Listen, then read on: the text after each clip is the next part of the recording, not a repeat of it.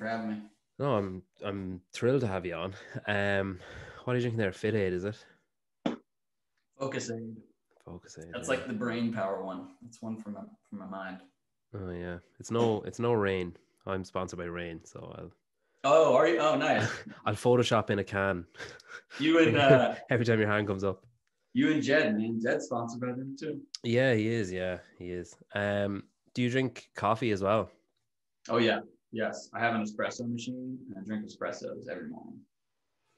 Are you saying espresso or Nespresso? Espresso. Oh, okay, I okay. don't have the little the little cheater pod thing. No, no, no, no, no. We're talking real grinds, making Yeah. the making the appropriate. Uh, I, I typically do like a cortado, a little bit of whole milk or something in there. That's my go-to. Nice. Cortados are big in Canada.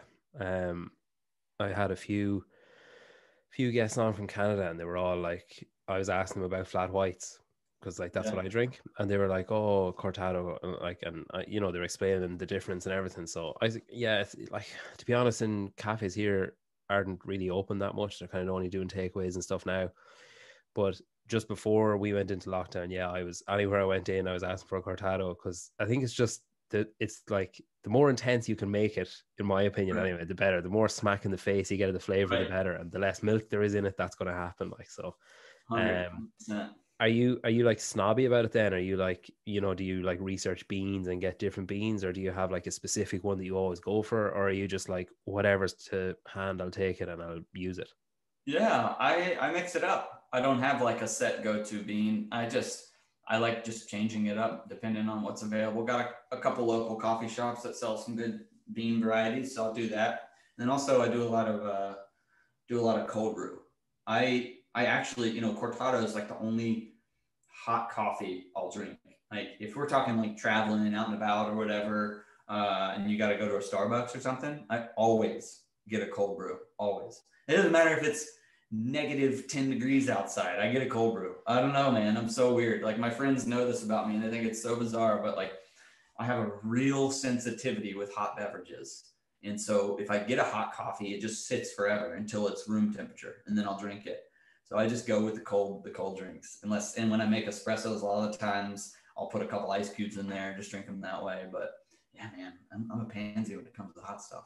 That's interesting. Actually, I'm the same. So I uh, I don't like hot food or hot. Yes. Like drinks. Exactly. I kind of like tepid or like just over warm is fine, but anything over that, like if you have to blow on it, it's just a waste of everyone's time. Like it's not worth the effort. Like, um, Right. you know, that's interesting. That's I like that. Um, a favorite coffee memory then. So I like to ask guests about maybe somewhere they were or someone they were with, or you know, something that um, I think flavors and smells and stuff have like a really strong like memory pathway built into them. So I'm always kind of curious: is there any kind of coffee you've had, not even the specific coffee, but like maybe who you were with or where you were, or any kind of big news you got or anything around coffee? Hmm.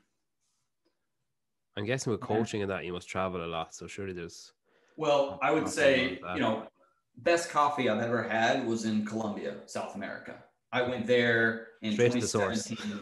I mean, yeah, you kidding me? Like it, it, it ought to be the best cup of Yeah. coffee you have. Uh, I was so fortunate. I got to go there with my mom. We have some family friends who are from the area, from Bucaramanga and Bogota area. And we got to go there for a month uh, over Christmas in 2017. So we traveled around uh, the whole country and got to experience some incredible coffee. Hmm. Uh, and you know, and again, I'm no expert. I can't sit here and tell you the type of bean, where it was from, but um, I just know that I was fortunate to be amongst some of the best coffee in the world, and uh, the way that it was always brewed, you know, always a pour over. And I Mm. think uh, that's um, so delightful, and yet something I never take the time to do.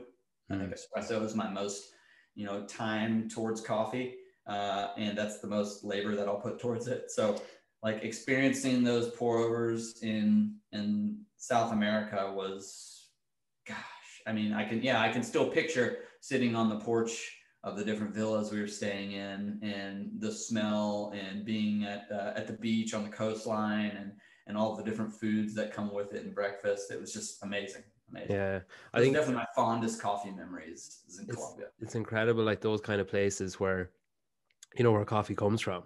That they're just like, oh, this is like terrible coffee that you just get in the shop, and we taste it, we're like, oh my god, it's life changing. Like 100%. I remember myself and my wife went to um, Kenya on our honeymoon, and they used to bring around coffee in the morning and like as far as they were concerned it was just some generic like you know mass produced bean whereas we, we were drinking and going like oh my god this is insane like it's so good like we were like where do you get this coffee and they're like just in the shop you know like it's no i was like did you pick it this morning they're like no, i just found it like in the shop it's just readily available you know like whereas it's for us it's like such a luxury to have coffee that that's that's that good yeah um yeah do you listen to a lot of podcasts?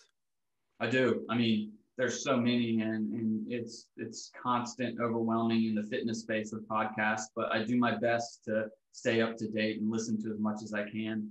Uh, I also like a lot of like Tim Ferriss sort of stuff, a lot of more of that um, kind of personal development, uh, mindset growth stuff. Uh, mm. I, I, find very, very interesting and fascinating. It's stuff that I've spoken on and studied um, since my accident. I've been a motivational speaker and speaking on these sort of uh, mindset um, kind of keynotes. And so mm. I, I, love learning from uh, different leaders in that space and Stoic philosophy and all those sorts of things. What's your what are your go-to shows that you keep going back to? Tim Ferriss, Chasing Excellence, love Ben Bergeron, love his approach and stuff he pulls out. Um, for inter- for pure entertainment, I think you know it's like the number one podcast in the world. I listen to a lot of Joe Rogan. Mm. I listen to the, the Joe Rogan comedy stuff uh, all the time.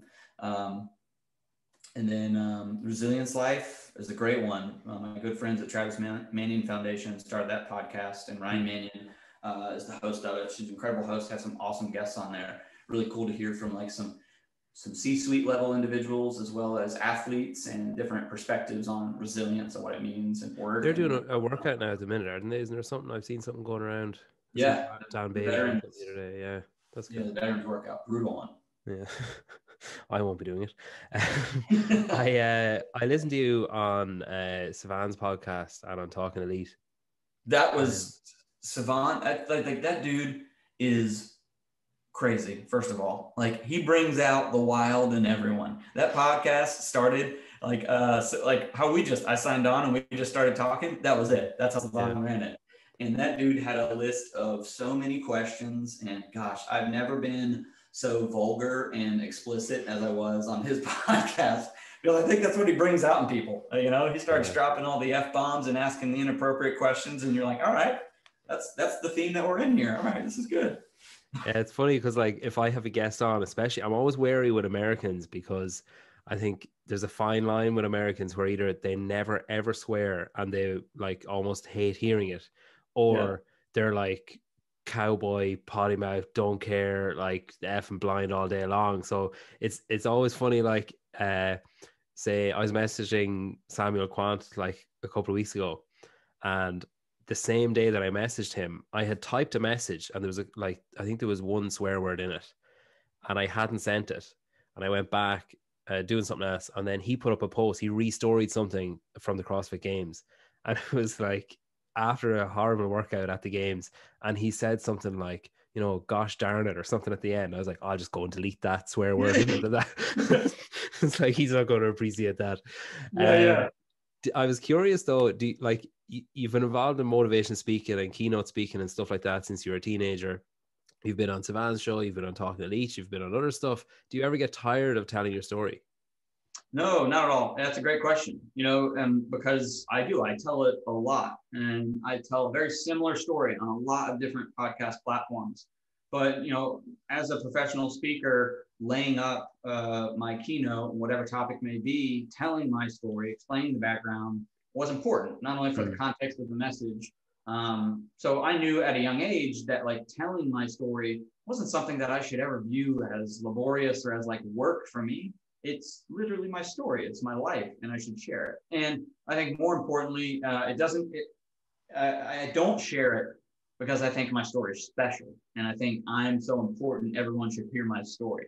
Please know, any listeners, that like I do not view myself that way. I, I don't think I'm a big deal. I think I'm just another bro, another dude. I'm a 29 year old dude who's very into fitness, very passionate about it, and dedicated to trying to make a bigger impact and platform for more people after after my time on this earth. And I think um,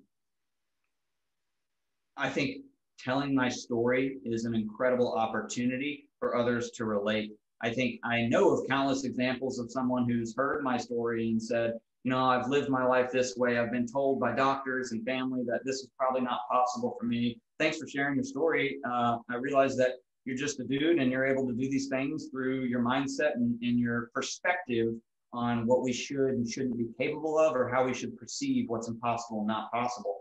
Um, so that's why I tell my story. You know, in my story, it always comes out, and everyone knows this hashtag I use all the time. It's just an arm, you know, the pivotal moment when my mother told me in the ambulance, you know, mom, what if I lose my arm? She looks at me and says, Logan, it's just an arm. That statement is what has defined my perception of my life after losing an arm, right? Like that statement allows me to, no matter when, even in today, when I'm frustrated or overwhelmed or struggling, I can remind myself, Logan, it's just an arm. And it might have it has nothing to do with a physical limitation. I might be mm. might be just writing a paper or, or writing an article or doing something and I've, I've just got writer's block. Well, the it's just an arm statement for me is one that allows my brain to kind of refresh. It allows me to appreciate, have some gratitude in life and in the world, and then hone in on how privileged I am to be able to do the things and be in the environment situation that I'm in uh, so that's yeah, that's why I love telling my story, and I never get I never get tired of it uh, for those exact reasons. Because I think it it has an opportunity through my story to motivate someone to take some action with their life. So, in that case, seeing as you never get sick of telling it, um, I'll give you the honor. So I, I, like I had a little recap prepared in my head, but because I was like, well, what if he do? What if he is just getting sick of telling the story? But go ahead. yeah, I will. Thank you. Uh, and I'll try to do it in a way, you know, I can tell my story in a way that takes two hours, and I can tell my story in a way that takes closer to 10 minutes. I'll try to be on the ladder there, uh, especially if these listeners are familiar with me in any other way, have heard any other uh, podcast. I don't want to bore them too long or yeah. lose them on this episode. But uh, long story short, I'm 29 years old, born and raised Raleigh, North Carolina. Um, uh, at 13 years old, uh, I was involved in a boating accident, wakeboarding. Now, for listeners who might not know that specifically, it's like water skiing behind the boat, uh, mm-hmm. but you're on a board, kind of like a snowboard. And the goal in wakeboarding as a sport is to jump the wave, like the waves that the boat creates, and do tricks and flips and spins and put together a run that's competitive. And my family were uh, some recreational competitive water skiers. They do it professionally, but they skied, slalom skied uh, very well. So at a very young age, you know, six, seven, eight, I was introduced to that. And then by the time uh, I came about the age of 10 to 11, I saw wakeboarding for the first time. And that was like jaw drop. So I was in love with it. And I wasn't wakeboarding just to do it for fun. It was really uh, my path to professional, to being a professional athlete. I saw the professional athletes at the time and I was dedicated to becoming a professional wakeboarder. So that day at 13 years old was a day, a training day. Uh, it was a Saturday evening, just got done doing my run Dropped my friend off at his dock, which is just about five docks down from mine. And on wakeboard boats, if you're familiar or if you're unfamiliar, there's a tower uh, that you connect the rope to that's above the center of the boat. Um, the rope was connected to that tower, and the end of the rope was back behind the boat. And we pushed off after letting my training partner off at his dock, and my job was to tidy up the boat. So I began looping that rope over my thumb, under my elbow. Oh, like, like that, you, that kind of thing. Yeah, Exactly, like you might do with an extension cord or something, you know, to make those nice, neat uh, circles as you wind up uh, cable, cord, or rope. So I had a couple loops like that, and with the end of the rope still being connected to that tower, and myself standing towards the back of the boat with a couple of loops around my arm like that, I looked back and noticed that a portion of the rope had kind of just drifted underneath, like over the lip of the back platform on the boat which isn't like massively alarming because the propeller on a wakeboard boat is really close to the center of the boat. It's an inboard, you know, way up underneath the boat. Um, so, you know, there's a wedge and stuff back there. Sometimes the rope might get caught on it. So that's what I thought in my head. And my dad, being at the cockpit at the wheel, just, you know, a few feet from me, I turned to him. I said, Oh, dad, rope's underneath the boat again. So he took the precautionary measures to turn off the boat and put it into neutral. But literally, right when I said, oh, Dad, the rope's underneath the boat again, and turned to him, and he reached to turn off the boat, and we were just putting. Like we just had the boat in gear, just moving this fast, not flying or anything, not going real fast. Uh, but as soon as that happened, as soon as I said that, the propeller caught the rope. That rope had drifted further than I had realized underneath the back of that boat, and uh, it caught. And when it caught, as you can imagine, it just it coiled it all up around that propeller and caused what I was holding to become very tight. So it pulled that part that I was holding really tight towards that back platform. And the result was it slipped off my thumb instantly, immediately just buckled and slipped off my thumb and cinched down uh, above my elbow on my left arm around my you know bicep tricep kind of mid mid in mid distance in the upper arm region. Uh, and it just cinched really really tight. And i was just standing there on the boat felt a little jerk and i was still standing there on the boat everything's fine. And my arm just went from holding that rope like this in the thumb to then just like kind of being straight out. My, i was still holding my arm up but it was just straight out like this. And the rope looked like it was going literally looked like it just fed into the inside of my arm and just came out the other side. Because that that rope uh, to give you some context on the rope was coated in plastic. Wakeboard ropes you don't want any elasticity. So this rope looked and acted as much like a cable as it possibly could. So uh, for better or for worse in this instance it just allowed that rope to slice through flesh and muscle and tendons and arteries very easily. Uh, so it was basically just cinched down around my bone, two loops of that rope, just tight tourniquet around my bone, and it cut through everything else. So in that one and a half second where that happens, my dad, you know, immediately steps over from where he is, begins to unwind that rope from my arm as I'm just standing here looking at it, baffled, like what, what, what just happened? Not even in pain, just kind of like what just happened. And as he unwinds that rope, that's when I mean it was pure bloodshed, like pure like we're on a 21 foot white wakeboard boat, and when he unwound that, and I was standing on the back, like towards the back one third of the boat, when he unwound that, the entire boat like was covered in blood in 30 seconds. I mean, truly, like, and I'm not even doing my best to tell this exactly as it was because it was unbelievable. Like, it was like it was like you know in films in like the movie 300 when you see the freaking blood just fly across the screen like Quentin Tarantino style movie like that was legit. I was like this is insane. This is fake. This is Hollywood. Because it was you know um, just for the sake of why you know left arm your heart pumps right into your left arm and that artery was immediately severed that's why the blood was so so drastic and so bad. And so how far are we from like a hospital? Like what? Like surely there's a finite amount of time that someone can yeah. have an, an open artery spring yeah. around the place. So you know, thank God for the next action my dad took. So as soon as he unwound that, he ripped his shirt off. You know, wrapped it into like a rope, wrapped it around my arm, pulled it as tight as he could, stuck a rod through it, twisted it, pulled it tight again. So he created an instant tourniquet. Mm. Had he not done that, yeah, 100% would have bled out and died in five minutes. So we were at Lake Gaston, which your listeners probably don't know where this is in the United States, but it's on the border of North Carolina and Virginia in the middle of nowhere. Hmm. In hindsight, like all it takes to get to that lake from Raleigh, where I live, where there are endless level one trauma hospitals, UNC and Duke, and these great hospitals, only takes about an hour and a half to get here.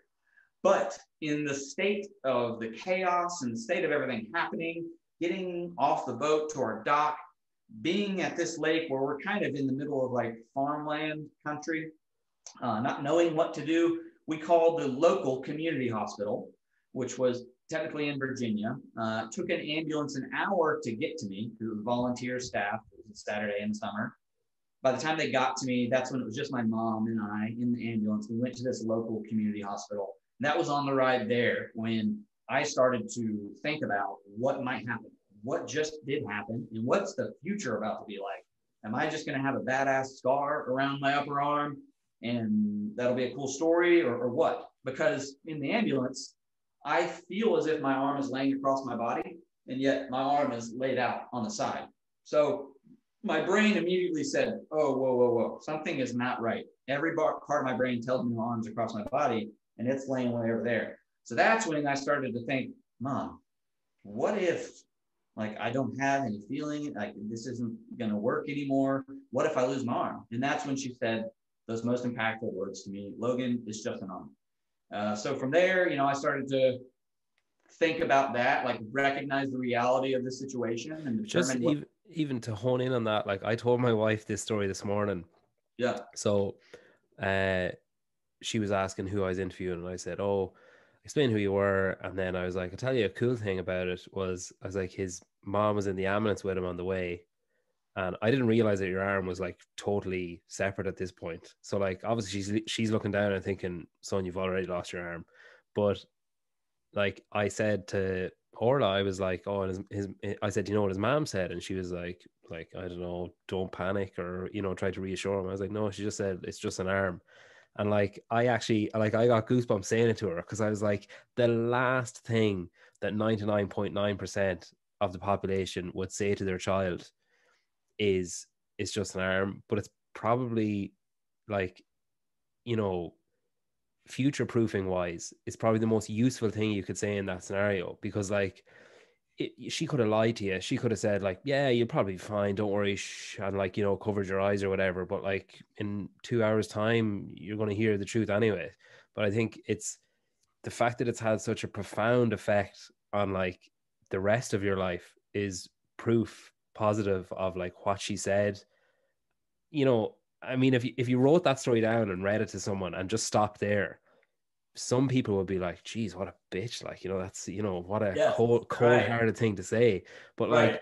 you know, you're, you're, you're, the way that you're living your life, I suppose, is proof that like what she said resonated. And like, even the way you tell the story, like, it seems to have just instantly calmed you down and just been like, right, well, you know, yeah, she has a point. Like, which I suppose kudos to you for having that mentality to be like, yeah, okay, fair enough. Yeah, she's right. Because I think most people would be like, what?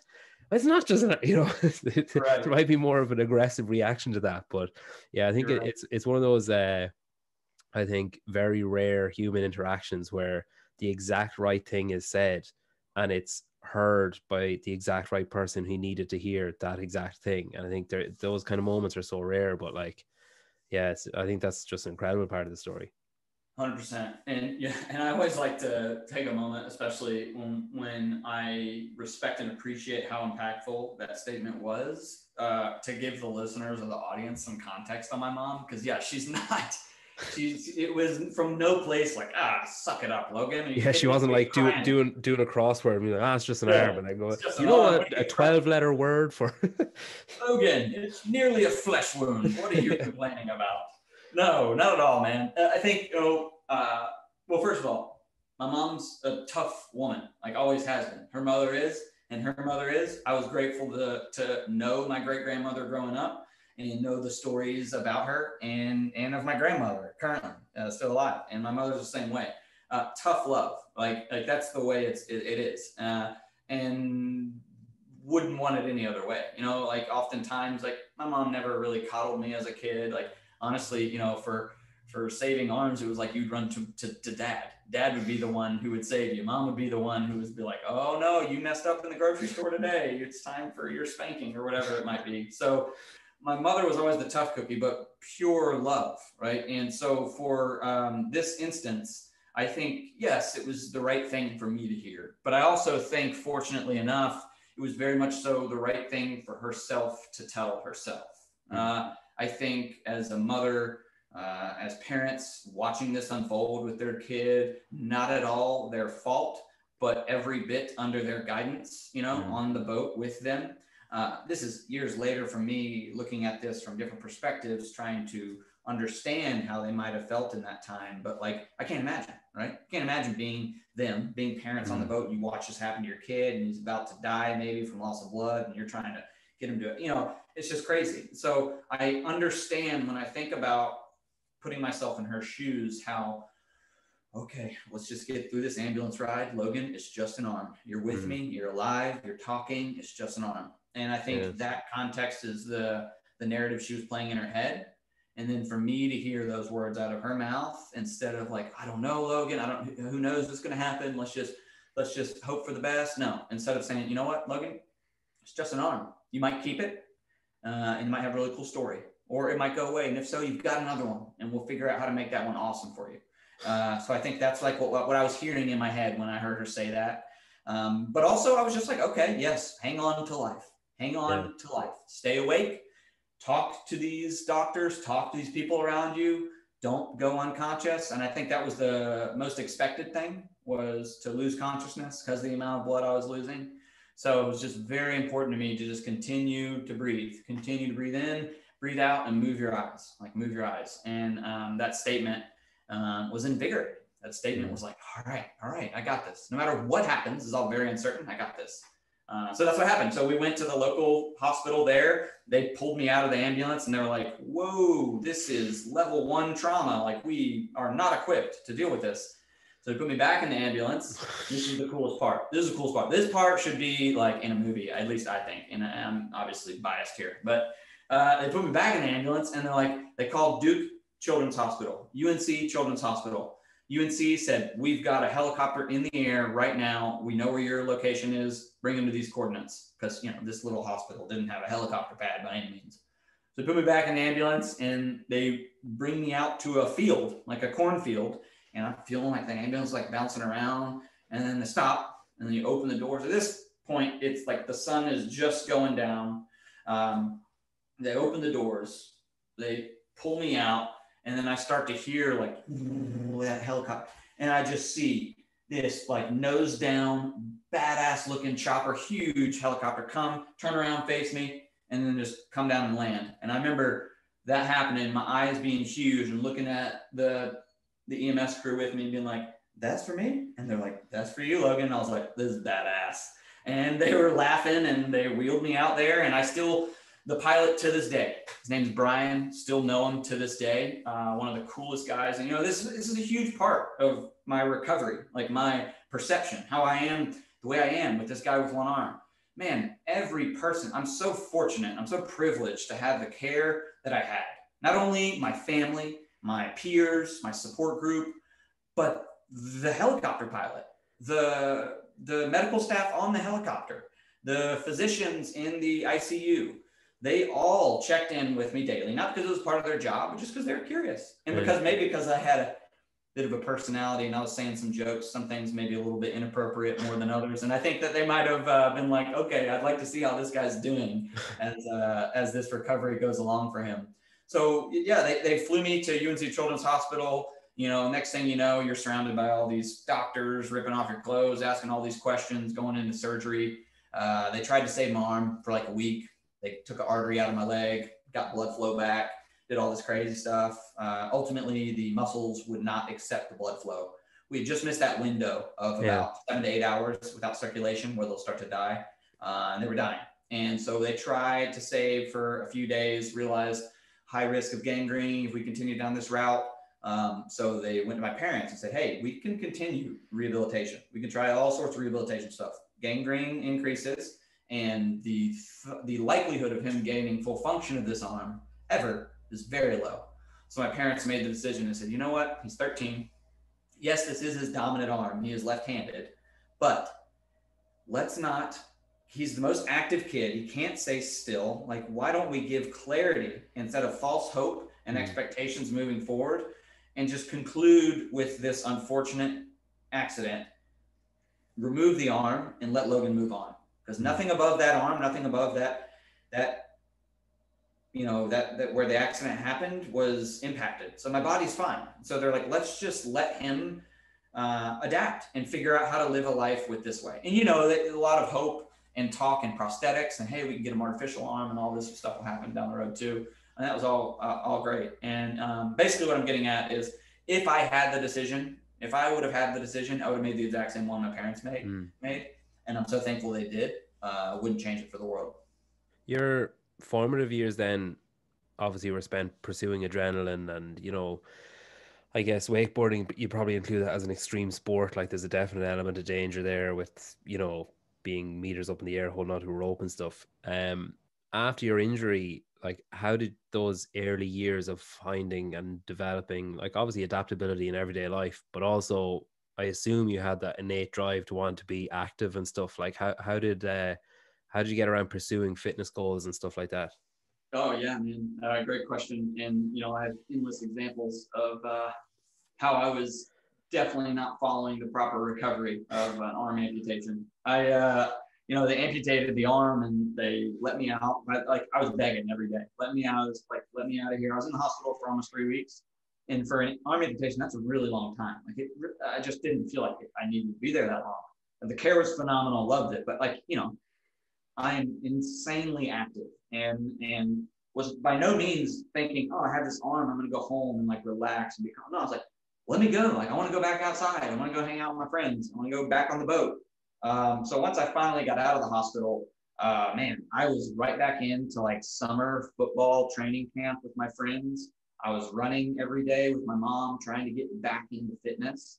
And uh, a couple months after, I was skateboarding with my friend, and I actually slipped on the skateboard and this way, like back towards my amputated arm. My brain's first thought was stick out your arm to save yourself. And I landed on this tiny little nub and snapped this humerus in half, which was, whoa, my God, you talk about pain. Like that, that was the most painful thing I've ever had in my life. Not the arm getting chopped off or the rope and all that. None of that hurt. Oh my God, falling and breaking this little bone uh, and that happened the day before I was supposed to get fitted for my first prosthetic. So uh, my mother was pissed, to say the least, and um, took a while for it to heal. After that healed, uh, I was again being way too active. I still had sutures on the end of the amputation, on the distal end of my residual limb, and I was like out running and doing, you know, conditioning drills and my bone broke through the muscles. So the bicep and tricep that was connected at the end retracted. And so you could basically just see like bones sticking out of the end, kind of like how your knuckle would look. Uh, so I actually had to go back into the hospital and they had to remove another inch and a half of my humerus because I was too active too soon. So, uh, so yeah, I was, I was pushing the limits as soon as they let me out. Um, the only thing that kept me out of getting into the water, like going back to wakeboarding the first day, um, was just the fear of infection. Like I would have gone back to wakeboarding that same day, but I gave it a year. I gave it the whole winter um, to heal, to make sure that the scar, everything was good before I went back to wakeboarding. And so then at 14, uh, as soon as I could, like the water was still freezing here in, in North Carolina uh, in March, I went back to wakeboarding. Um, and throughout that whole winter, and even while I was in the hospital still, uh, I knew I'm going to live one arm the rest of my life, this right arm. Uh, I grip train every day. Like to me, the most important thing for me to do, the two most important sports in my life at that time, wakeboarding and lacrosse. If I'm going to participate in these extremely arm dominant uh, sports, this one right arm is going to need to have the most dexterity, coordination, stamina, endurance, strength, all of the components of fitness need to be at, at their peak for this right arm to just try to be competitive with my peers. Uh, and that was my mindset. Like I knew this. 13 years old, chopped my arm off, laying in the hospital, all drugged up. And I turned to my brother. I said, "Hey, go give me one of those grip things." And I said, "Also, give me some of those Chinese meditation balls that you like spin around in your hand. I feel like that's going to help." And he did. And then they brought those stuff in, and I would just all day while I'm having people visiting, you know, messing with that, or 100, 100 grips and then rest until I can do another 100. Um, so that was my approach. And because I knew, I was like, everything, everything I'm fearful of having to try to, a challenge that's going to be faced moving forward, like these highly active goals I have for myself to play lacrosse, to wakeboard again, to play golf, to participate in activity and work out with my friends. Like I knew that these things would take a ton of discipline on my side. When no one's watching, no one's looking, when you're laying in bed, when you're not around your friends, and it's easy to wander in your thought and to think about what if, why me, what if, no, no, no. None of that was allowed to creep in because it was just, okay, what can I do? What can I do about it? And every moment was like, I know, all right, I can work on this arm. I can work on something. Uh, so that was extremely uh, therapeutic for me to have something in my control. Like I can work on this on, I can work on my fitness and how I recover from this. Even with breaking the bone through and freaking snapping this thing, you know, I, my focus was this thing. I said, okay, this is all new to me, right? Like I was left-handed, everything, trying to figure it out. Writing again, doctors were telling me in the hospital that I would never learn to write again. This is mind-blowing to me. Uh, and it was my first experience with expectations and how I understand people with disabilities, and I give that air quotes because I think in the medical field, it's it's we we get compartmentalized. We get put into this this category. Um, you are this way. You are an upper extremity above amputee. Here are the things you will be able to do. Here are the things you'll struggle with a lot. And I think that's a scary road to go down from medical professionals and from your, you know, your, your occupational therapist and the information and opportunity they may explain to you exists. Uh, and so, yeah, I think it was an interesting um, first uh, experience with expectations, that one of handwriting, and one, you know, where I, I, like to give this example in terms of a really like archaic way to put it. Like if I would just accepted their expectation, like I just wouldn't write. I would just be living this life. I'd be this 29 year old dude being like, yeah, I lost mom at 13. Doc said you won't write again, so I'm not. I don't write. I just type and, and text. Like, what in the world? Why? Why accept that? So I just didn't. I was just like, okay, what I'm going to do the alphabet while I'm laying here in the hospital bed, and I did start writing the alphabet. I'm like, like with anything, with anything, you can do it with enough practice and repetition, and that's all it was. I just had to practice a little bit. I mean, literally like a month, a month, and I was writing with my right hand just as legibly as a 13 year old would write with their dominant hand, right? So there's no difference. Uh, and I think that is where I became obsessed with this message, this keynote that I initially spoke upon uh, about beyond expectations. Beyond expectations came to the, the brand of, of my speaking platform. And um, what that meant was not like, don't, not about being a perfectionist, not about exceeding what people think of you, but about uh, only holding yourself accountable to the expectations placed on yourself. Uh, on yourself, because uh, I believe that expectations, in my experience, the definition of it are prejudgments we place on ourselves and one another that typically limit potential. I think most of the time, uh, expectations, when we meet them, when we know what external ones are placed on us, we go ahead and give ourselves uh, that gratitude, that accomplishment, pat on the back when we've met the expectations of other people. Now, what does that what does that do for you? That, that is not helpful. I don't believe. I believe that we're far more capable than we believe and that we can exceed our own expectations. When we do so, there's a really unique ripple effect that happens that empowers other people to realize the potential of humans. And that means physically, spiritually, emotionally. Uh, that's what I mean by beyond expectations. Kind of doing the unexpected because that has the biggest impact and ripple effect on other individuals. Yeah, I'll be honest. Like I like I love that to controlling the controllables and that kind of uh, attitude of you know something so harrowing going on and just defying you know not angrily but just being like yeah okay whatever you think and then be like i'm just going to do what i think is right whatever. For a lot of that i was just picturing the bone breaking through uh, the base of your arm for a good two minutes there. I was just picturing what that would have looked like. So I needed to, in my own head, I needed to just get that out and move past it because I would have just hung on to that for the whole rest of the episode, like just trying to picture it. But I'm, I'm, I'm past sure. it now. I'm fine. I'm glad you asked that question. I don't think I've ever told that story specifically. So I'm glad I painted that picture for the listeners. I'm assuming, uh, I'm assuming most people you know or like train with are just like you know oh that's logan doing workouts fine.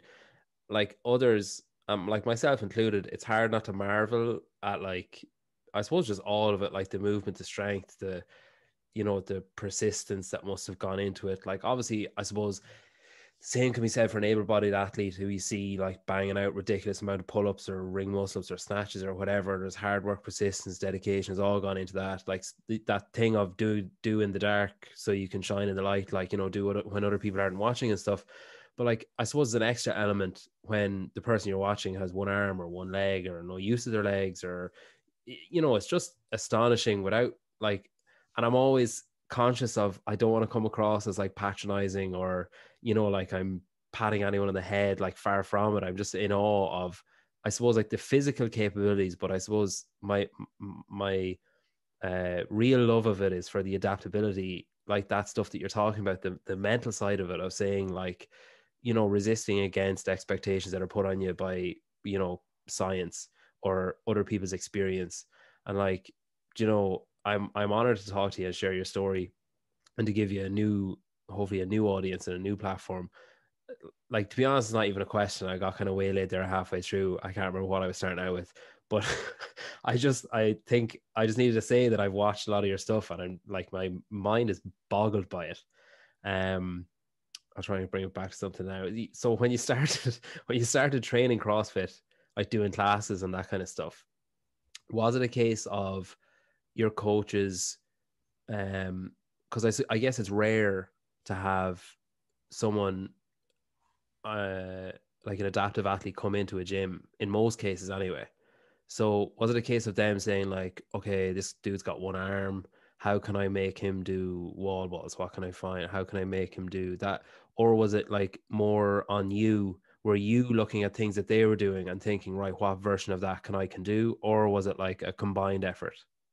Yeah great question. It was uh it was on me it was on me uh and i wanted it to be that way yeah you know i i went around to a lot of crossfit affiliates in my area uh, dropped in was just a fly on the wall just wanted to participate i wasn't i was not going around expecting to walk into a facility and someone say hey i know how to train not at all mm. I was just, hey, let me come into your environment and figure out what this is like. Uh, there'll be instances where I'm challenged and I don't know what to do, and then maybe I'll come to you and we'll talk through it. Uh, or I might just be creating solutions on the fly here, uh, and and that's what happened. Like the the gym I ended up joining, the owner and the manager, they're like, listen, I can't, I cannot begin to sit here and tell you I'm going to know what to tell you to do or how to coach you on technique or or whatnot. But if you're willing to come in here and learn, uh, you're welcome. And so that's all it was. Uh, and that's the way I am. Like that's where I am about anything. I love to dive in and learn, um, maybe rather than be coached or told how to do something. And um, this was the best scenario for me to walk into because every day was a new challenge, a new situation that I was trying to create a solution for. And always in my mind, I think from the very beginning, was this thoughtful uh, approach to okay, this person looks similarly fit to me, able-bodied, got their arms and legs. They did this workout, Nancy. It took them this time. Their rounds were like this. They looked like by that, you know, towards the end, they were like dying and barely finished. Okay, all right. Let me try that workout. What happens if, okay, the run's the run, saying, do I reduce the weight? Do I change the movement? Is is the version of an overhead squat for a one-arm individual way more taxing, way higher stimulus than a two-arm overhead squat? Is it the load or is it the actual position of the body? Uh, these are the things that I'm thinking about. One-arm burpees, like do I, if I do 10 burpees next to a two-arm person, are the same speed and are they creating a similar stimulus? Uh, and these are like the, I was, I, they didn't have like hard data around any of this, but this is the questions I was asking myself every day as I observed a class and then prepared myself to adapt the movements and participate. Um, and I think that was the first step to trying to be this adaptive solution oriented approach to functional fitness. And then I just became obsessed. I became obsessed. I said, okay, what happens if you're an above knee amputee? Okay, what happens if you're in a wheelchair and you're a T12 paraplegic? So like, like you know, below your pec line, like mm. you've hmm. got nothing. Like, what happens there? Uh, and this was right at the time when I started CrossFit, it was 2014, right at the time of Kevin Ogar's injury. So there was a lot of light bulb moments happening to me as I stepped into this functional fitness space of CrossFit. Uh, and yeah, I told my affiliate owner at the time, I said, hey, my mission is to be the face of continuing education, opportunity, and empowerment for people with disabilities to get into fitness. Right now, it looks like CrossFit is an awesome platform to do that with. And that's where I was going after. And this was like, you know, day one, day one of walking into a CrossFit gym. That's what I said. Uh, and it's been really cool to like, you know, reflect, look back and see, gosh, 2014 to 2020 to now, like it's not that long. Like it's only been six years, and to think about the pro- progress we've made uh, as as a whole, as a community, as Wheel WOD and competitions, and then now as gosh, CrossFit headquarters, bringing it in, like making it official. Uh, it's just it's just we I never stopped. I can never stop. Every day for the past six years has been with this goal and focus in mind. Um, with that in mind, the Wheel Wheelwad Open starts uh 30th of November. Is that right? Yeah, gosh. Yeah, this, this weekend. Yeah, Monday. Um, so it's five workouts, and so I guess similar to the the CrossFit Open, similar style, I guess. Um, right. When you're planning those workouts, then and when those workouts are being set up and when it's being devised and the because I was looking earlier on at the uh what would you call it like the prerequisites to be an RX seated athlete or a scale seated athlete and that kind of stuff um like is it a case of basically what you were saying there with Nancy where you're pitting you're kind of I guess imagining it like I picture it like you know Tekken when you're picking a character to play as and it's like the strengths and weaknesses that you're looking at these different, I guess, like a cookie cutter version of different athletes saying, like, okay, well, we'll assume that everyone with a T12 injury can do this if they've signed up. And we'll assume everyone with, you know, an, an amputee can do this if they've signed up. And we'll assume whatever, right. that they've read the terms and conditions, that they understand that this is what's expected of them. And then after that, you just pick each character or each, you know, adaptive athlete bracket and say, we need to give them all this stimulus and we need to give them all this level of exhaustion of their you know whatever movement and we need to put them under fatigue for this and then we need to test this. And then you just find a different way. Is is it basically just like you described there with when you were trying to figure out how to do nancy? Yes when yes when and this is where it might get confusing for listeners because of the new opportunity for adaptive athletes to compete. Because now CrossFit has, we're going to be in the open and we're going to be in the mm. games. Wheel WOD, you know, okay, so let's let's pretend CrossFit hasn't made that announcement. Yeah. And Wheel WOD exists separately. Uh, CrossFit appreciates, loves everything we do. They're supportive of it. They're just we're just not officially a part of it, right? We're a separate own thing. What we would do every year around February when the Open comes out is we would adapt from the able body perspective. So the open gets released, and literally this is what we do. Like, you know, CrossFit, even though we're on good graces and, you know, are friends with them and they support us, they wouldn't share those workouts early. So they'd get released Thursday night, you know, and we would stay up all night uh, taking that workout in and adapting it amongst our eight divisions that we have, eight different adaptive divisions. So, yes, from what you're saying, that's how we have to approach that when the original prescribed workout is it's in an able bodied context. Yeah. What's really awesome about this coming up, our Wheel WOD Open happening, you know, November 30th, starting November 30th, three weeks, five workouts, two workouts a week. Last one, one, I think. Uh, the way that this works is very unique, right? Because we don't have to go from here's what the open is, able-bodied okay. stimulus, and now it's now we have eight divisions where we can test their fitness completely. Oh, so we you can, can do can, eight totally different workouts, like totally different workouts, right? The okay. upper extremity workout doesn't need to look or be similar at all okay. to the seated workout. Now you're right. We want to follow certain intentions, right? Yeah. Like there's certain, you know, one is intentionally uh, heavy lift, or it's intentionally we're trying to discover, you know, your time on this monostructural yeah. sprint, or whatever it is, right? So like we'll stay within themes, but now we can 100% focus on testing fitness, yeah. not adapting and seeing who is the most able to adapt in this skill or this setting, right? So there's some really, really cool benefits from from this situation. Are you ever tempted to put up clues? You know the way Castro puts up his stupid pictures of statues and shit like that. Are you ever tempted to put up like some totally unrelated picture and try and get people guessing? Oh my gosh, 100%. So if I, so let me get some clarity there as well. I, uh, you know, I'm a co-founder, co-owner of Adaptive Training Academy and of Wheel WOD. Um, but I'm also an athlete. So Wheel is Wheel is a part of ATA, Adaptive Training Academy. It's like a it's a component of us, and I think a lot of people don't understand that. Like ATA is the overarching umbrella company of all things adaptive training. We are the Adaptive Training Academy, and our programming, competition programming, performance programming, and competition consulting all happens under Wheel WOD. Now, Wheel WOD, yeah, because I'm an athlete and I compete, there's this there's this line of separation where I'm not allowed to know what's happening in my company. So yeah. Wheel WOD is ran by Chris Stoutenburg. Chris is uh, in Collingwood, Ontario, you know, 20 year seeded athlete, three time Paralympic wheelchair basketball player, phenomenal athlete, coach, programmer, able bodied programmer. He brought an athlete to the CrossFit Games last year.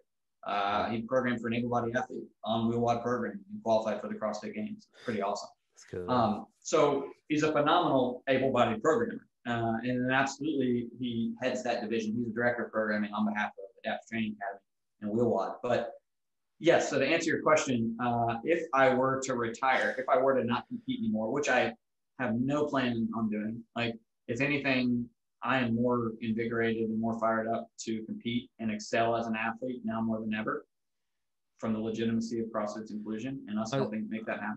I was going to ask. So, like Eric Roza was on talking elite, and I think I don't know if he intended to do it, but he like basically leaked information yes. where he yeah. he said something. I think it's it, like it seems to have rippled through the community. Like Morning Chalk Up are putting up stuff. There's all like CrossFit. Even just since that announcement, or I don't again, I don't think it was supposed to be an announcement. And since he said what he said, I've noticed a big ramp up in CrossFit like Instagram page putting up more like you know inclusive posts and stuff and they're obviously making a big effort. And like he mentioned that efforts are being made to have an inclusive open and a game season where adaptive athletes have a space to compete. And he also and I think like really importantly I think he said that he knows it won't be perfect in 2021 but that they're working towards it. Because I think a big mistake that not just CrossFit but other companies have made in the past have been like we've turned over a new leaf and then it's a bit of a flop and then everyone's pissed off and like you know the adaptive community would be pissed off the spectators would be pissed off able-bodied people would be pissed off being like ah oh, that was a waste of everyone's time or whatever. But i think saying it at the start we might fuck it up we'll do our best we're going to talk to people they have like these inclusive panels that they've set up they've got all this kind of stuff going on that they're, they're obviously really trying to do it the right way. Like i guess a two part question for you on it is like what can people expect from the inclusive open? And what boxes do you think in your opinion crossfit need to tick in order to stand back at the end and say yeah we fucking nailed that great great questions um, so it's really it's so yes eric said that it was amazing so great to hear him come out and publicly state that um, we've been working with them. So uh, ATA, Adapt Training Academy, we've been the consultants with CrossFit over the past few months, discussing this, seeing if it really is feasible, um, and then also, you know, giving no light on when the public announcement would be made. So there's still a lot to work on. There's still a lot to solidify, but uh, it was so cool to hear him state it in the way that he did, and with the understanding that like this will take improvement. This will take mm. time to improve, but also know that like we've been doing this for a long time. We've been doing this since 2012. We're really well prepared. I think more so than um, maybe CrossFit staff expects, uh, which is great. We plan on over delivering in all, all the ways that we execute this. Um, but I think there's a lot of consideration that goes into it because when a brand like CrossFit endorses and says they're going to support and make this platform a reality for this population, uh, big eyes turn. Like CrossFit's a big, you know, the Paralympic Committee turns and looks, uh, and that's phenomenal. That's fantastic because uh, it's it's what we've been trying to create all along. Right now, we have the backing behind the official brand of what we've been doing, the sport of what we've been doing, and and that's CrossFit. And so, I think the boxes that need to be checked in order for this to be ran uh, effectively safely and and really create a platform to deem the fittest on earth in their respective adaptive category is first of all are defining the, the classifications well first of all defining the divisions hmm. we intend and now this is again this is hard to say with confirmation but i believe that we'll have eight divisions within crossfit um, and within those eight divisions we'll have to create a classification procedure so I think the, the most important box to check is clarity on classification, what that means. You know, there is really tough to be inclusive of everyone, mm-hmm. right? It's it's it's really difficult. Like there are um, parameters, you know, there there are levels to which you're going to qualify and not qualify hmm. depending on your impairment or the severity of that impairment. Um, and this is hard for me to say because, you know, I'm everyone's welcome, arms wide open. We want everyone to participate and, and join. But also at the same token, like we're talking about CrossFit as a sport. We're talking about competitive athletes competing for a title. Mm. So there has to be really clear um, context around that because what this is not going to be is showing up to the CrossFit games, coming out on the floor, doing the workout, and everyone just going, "Oh, it is so cool they do that." No, they're out there battling for first, second, and third place, and mm. the prize money goes along with it. Uh, and it will not be represented by the person with the least uh, in, in disabled impairment or whatever the case may be, right? Um, that's on us. That's on how we structure the programming and how we create this platform. But I think the most important part for CrossFit and for us to help CrossFit execute and deliver really well is the classification procedure um, and expectations there so that every adaptive athlete who's interested, curious, hasn't done CrossFit, but wants to participate and see what this is like that they have clarity around it and not a ton of questions. Well, this is how the Paralympics does it. Why are you doing it this way and whatnot? So um, that is what we're right now, ATA and Wheel WOD. This is what we're spending most of our time doing right now is making sure that we've buttoned up the uh, legitimacy of the classification procedures so that when we get these athletes, you know, to the CrossFit Games, um, it's it's the exact representation we're looking for. Yeah, I like that. The the the no quibbles at the end is I think it's always important to try and minimize you'll always have someone giving out about something, but to try and minimize their opportunity to do it, I think is important with everything. Um speaking of competing, you've done a lot of uh, you've got a lot of competitive experience behind you. Um I think uh, like I'm curious what has been your favorite competition to date and why? Uh, well, I mean, I would selfishly, I would probably say the 2019 Wheel WOD Games because um, I won and because I, I was, I, I mean, regardless of winning, uh, I think I was the fittest I've ever been. Like I, I think I was all the programming leading up to that, like the training I was doing was brutal, and I thought I was destroying myself. And to go there uh, and perform the way that I did, uh, I PR'd my clean and jerk. That's the one that went viral what seems like a lifetime ago, but of me wearing the blue shirt, doing a barbell clean and jerk, trying to do two reps. Second rep's real sketchy, uh, and I don't make it. But uh, that happened there at that competition, and that was 200 pounds. That was a one rep PR, which ended up being the one rep that I got, but uh, a goal that I've had for a year leading up to that. So to hit 200 and almost hit it for two uh, was a huge like achievement for me in my in my strength training. Um, and then also there was like a really brutal row run row workout, or no run row run workout, really long endurance, and that's normally where I get destroyed. Uh, and I won that event. And so uh, to win that event and to the only event I came in second on was the swimming event. Uh, and normally that's where I, I drown. Normally that's where I like I'm last place, swimming in circles while everyone's doing laps. I'm freaking horrible at swimming. Pisses me off. Uh, I got a lot better at it. yeah, right. And I got really good. I got really good at it, or at least in my in my world of swimming, I got really good at it in 2019. So uh, I just I really did. I believe that the weaknesses I had, the holes I had as a, a competitive adaptive CrossFit athlete in 2018 really got buttoned up. And um, I think I performed exactly how I wish I would in 2019. Okay. So that in terms of me, my performance as an athlete, looking at it critically, um, best, best I've ever done. Now, in terms of like fun event, and this wasn't even a competition, but one of the funnest like fitness feats I've gotten to do was the 200 rep deadlift with uh, CT Fletcher. That was incredible. I got to do 200 reps at body weight, a challenge with CT Fletcher.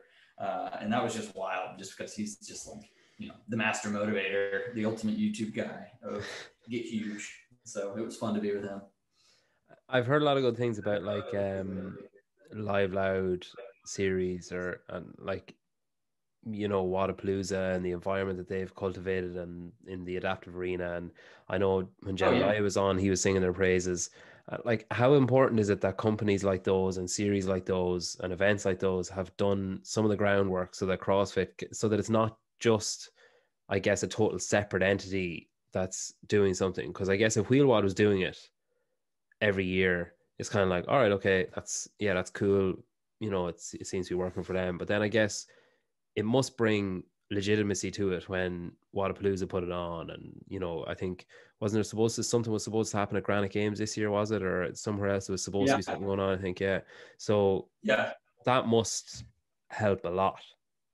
Oh man, one absolutely. We wouldn't be where we are. We wouldn't. We wouldn't be having this announcement. We wouldn't be where we are today without Wodapalooza. Specifically, mm Guido in the beginning. You know, Guido founded that and and gave Steph Hammerman. You know, she reached out and was like, "What about that division?" He was like, from the very beginning, he's like, "Yeah, absolutely, there should be."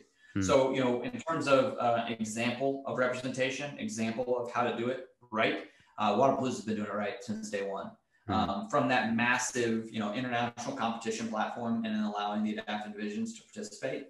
Um, now, there's a couple tweaks in there we wish could be different. Like Wodapalooza really can only allow three different categories: hmm. standing, um, upper, lower, and seated.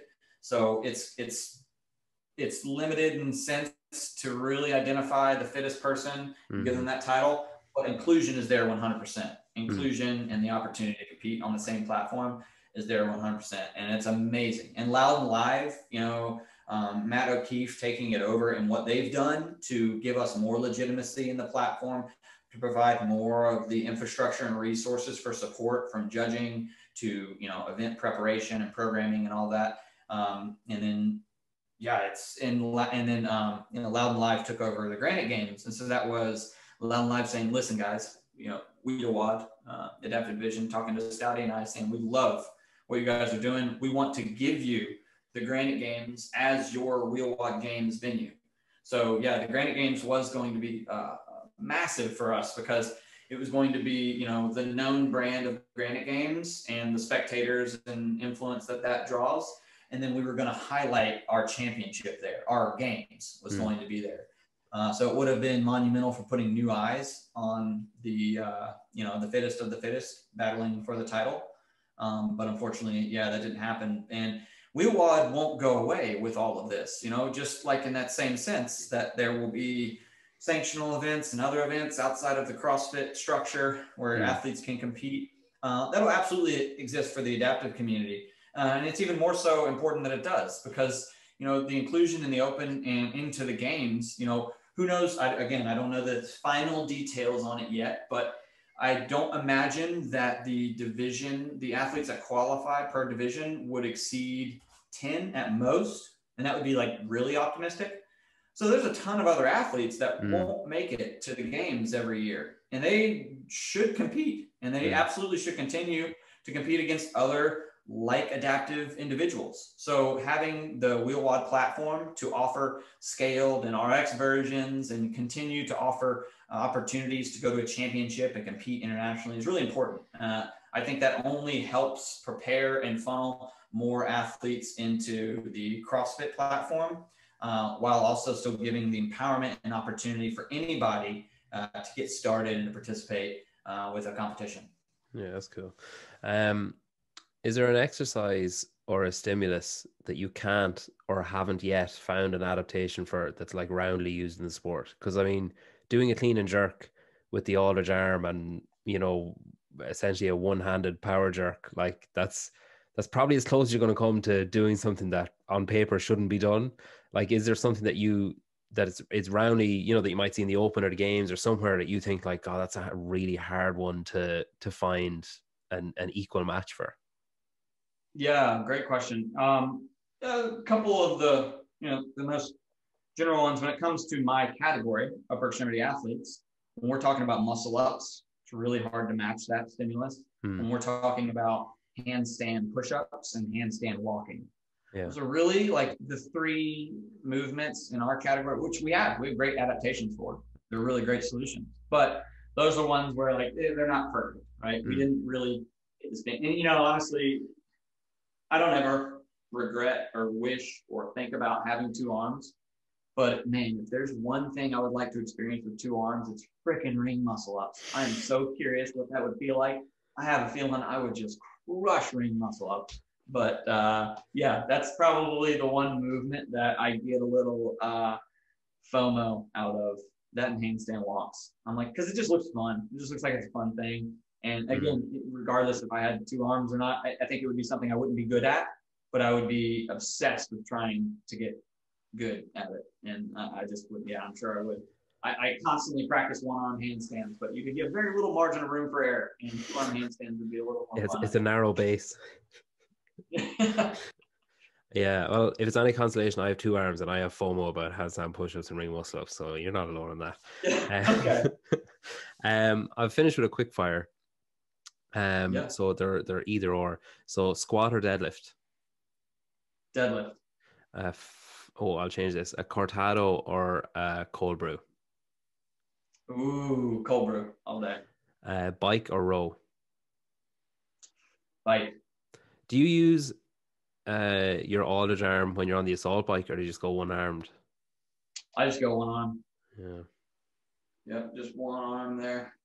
Yeah, I'm trying to think what's worse than me using the assault bike and doing it one handed is probably yeah, it's probably about the only way you could make it worse. Um hardest movement that you've uh like hardest able bodied movement that you've found an adaptation for. Hmm.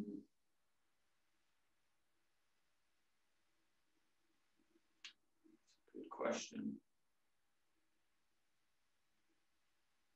Uh, chest bar pull-ups, kipping pull-ups. Is that like say that. the difficulty required to do it I would say or the difficulty re- required to find an alternative? the adaptation that I use uh, for that is like is very technical because it Hmm. involves finding the appropriate resistance band, placing that into my armpit, and then still performing the butterfly uh, dynamic technique and having my armpit create the same appropriate amount of resistance so that you know I maintain the right cadence. Uh, to me, that's like yeah, it's extremely technical. Oh, and the mono rope, the jump rope. Apparently, double unders, the jump rope is quite difficult. Yeah. Um, God, I can't imagine having like a band digging in. Like, if my wife wants to piss me off, she just jabs me under my armpit, and it just sends an electric Yeah. shock through my body. So we, yeah. Oh, dude. yeah. I mean, it's like, uh, yeah, I definitely second guessed why I was doing this when I first started CrossFit, and I would come home and my armpit would be bleeding. I'd be like, "This is diminishing returns here. What's the point?"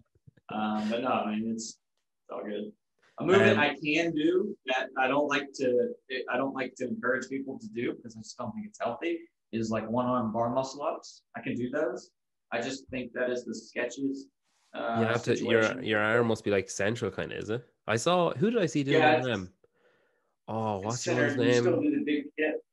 You just Celia- pull over here. Celia Gab, you know the Italian one. She's she's coaching with James Newbury now. She's from like Newcastle. I saw her doing. She's an able-bodied athlete. I saw her doing one arm, and it looks. It's just like no. There's so much going on that it, like you must crack ribs and br- you know bruise your pelvis and everything. It just looks Yeah. horrible.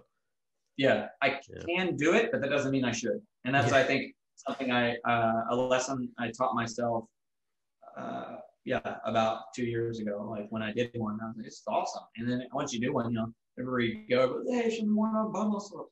I'm like, man, this is about to become what I'm known for. And then this is going to be what blows out my rotator cuff. And this is going to be how I don't work out anymore. So um, there's always, you know, the thought of the difference between we're doing fitness to get fitter and more functional and is a bit of a soapbox for me, I guess, the adaptive community. And the difference between doing fitness to try to like just show off and it's just Mm. kind of a circus trick. Uh, now, trust me, look at my Instagram. I do that often too, right? Like I, I try to entertain the crowd and show people what a one-arm guy can do. I mean, look at my freaking mountain biking video I just put out Like, about hate shit, but uh, I let the world see it. And um, I become, yeah, I, I'm a, an advocate for doing something that's hard, challenging, painful. It's fine. You can push through and your body will get better over time.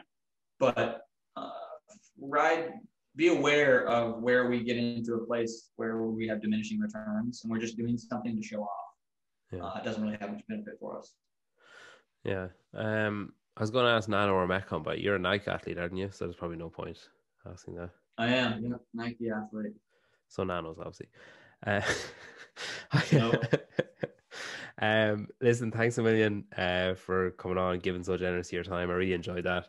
Um, I wish you all the best with everything, especially all the work that you're doing with CrossFit um, and the the legitimizing of of your efforts. I think best of luck with everything there is in order because it's it's a remarkable movement, and if you can pull it off, I think it'll be fantastic. For it's like that thing of I think Eric mentioned himself how the games is that that's what gets people in the door of the gyms, and I think the more uh, people with potential to be adaptive athletes that see adaptive adaptive athletes in the spotlight, I think it'll only encourage inclusion and you know, like you say, people welcoming people with open arms into gyms.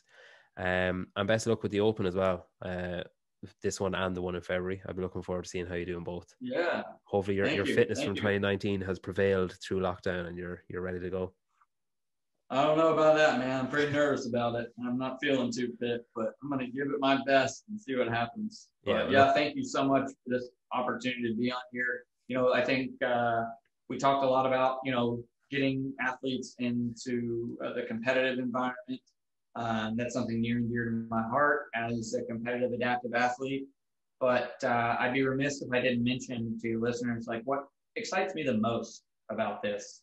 What makes this the most monumental uh, moment, I think, when I'm long off this earth, is that it's the first step towards um, creating more opportunity, curiosity, and awareness for people with disabilities and also individuals who just have had a negative connotation with CrossFit, with mm. even take away the brand, with the idea of high intensity functional movements.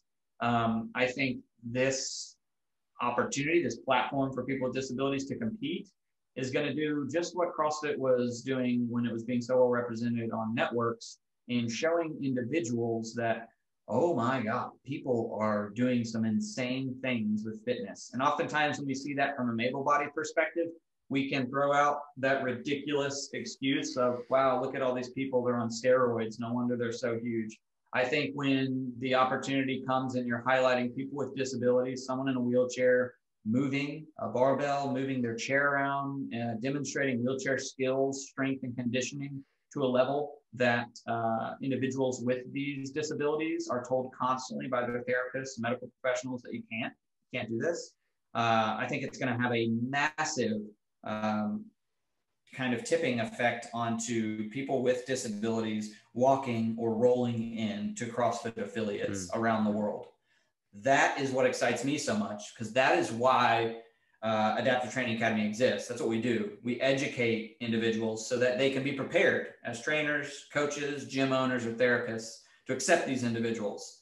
So by CrossFit bringing us into the competitive platform, it just reiterates the need and the importance for this education and the access and inclusion in your local boxes. So I have a feeling we're going to get a lot more interest from trainers and coaches and affiliate owners that want to market that they are ATA affiliates so that more adaptive athletes feel accepted and feel like they can go into a safe space and maybe just work out to work out. Maybe just work out in order to, you know, live a more healthy, independent life, but also maybe to qualify one day for the CrossFit Games. And how cool the, are those stories going to be when someone who was disabled, sheltered in their home, didn't leave much, got a part of a community, became healthier and fitter, and then started impacting others to pursue that same thing. Like I think mm. that really holistically changes the world. And I know yeah. I'm biased and I know I think even able-bodied or adaptive, I think the the whole purpose now I think is just bodies off the couches into the gyms, build a community, get moving, you know, decrease the likelihood of needing medical care and assistance. And I think, you know, if you can stand up out of a chair an able-bodied person can stand up out of a chair when they're 80 or if you can play with your grandkids it's it's worth it to to suffer yeah. through an assault bike workout now is worth it and i think you know there's definitely similar parallels drawn to adaptive community if you're able to you know get up and make your own breakfast or do whatever you need to do because you're training and you're finding it easier then it, you know whatever needs to be done to get that to happen i think is it's good um yeah listen thanks a million uh that was fantastic. Um, if you ever think of anyone else that you think I should have on, let me know. Like point me in their direction. I'd gladly have them on. I think uh, I don't have a huge audience, but I, I would like to highlight, you know, ATA and Wheel WOD and the work that's being done and the efforts that are being made because I think it is cool. Like, and I think it's there's a there's a lot more noise being made by people who are doing fuck all really. So I think it's important that Right. people who are doing good stuff are highlighted as well. So I um, appreciate that. I appreciate that. Yeah, and there's endless, endless individuals, remarkable stories, and people would love to share. Um, sh- direct them towards you for sure. yeah, um, cool. And yeah, Um, for your listeners, I always like to say this too. If you want to put it, I don't know if this will go into the podcast or if you want Yeah. to put it in the show notes, but would love to give them if there are any trainers, coaches, gym owners that are interested in Adaptive Training Academy's course. Always like to give a 10% discount for the podcast listeners. Absolutely, yeah. So if you have like a preferred code, It's just coffee pods is what people tend to use. Coffee Pods 10 is what Yep. I'll use, all Perfect. caps. Perfect. So. I'll, I'll set that up, whether they take our self-paced or whether they take one of our guided cohorts.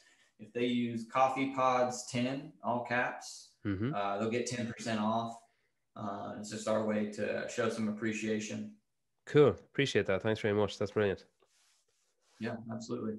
And they can learn more at it's our website's easy, ata.fit. Lovely. Perfect. Um, well, listen, thanks a mil. Uh, enjoy the rest of your day. I'm going to. Thanks, Peter. Actually, in 30 minutes, I've got a podcast with Talking Elite Fitness. So Oh. I appreciate Yeah. They've been on with me, so uh, tell, get on tell, the tell them tell them I said hi. I sure will. I'm gonna be on with Tommy. So I'll tell Tommy you said what's up. Cool. Cheers. Thanks mil. Enjoy the rest of your day. Thanks, Peter. See ya.